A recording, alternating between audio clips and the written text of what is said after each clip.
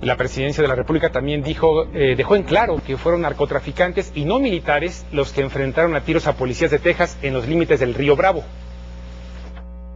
No se trata de militares mexicanos, eh, también lo ha señalado así el FBI de los Estados Unidos. Se sabe que son narcotraficantes utilizando uniformes militares que incluso no son los uniformes militares regulares del Ejército de México. Los Estados Unidos y México también están muy interesados en investigar cómo se están eh, operando las bandas del narcotráfico en esa zona de la frontera.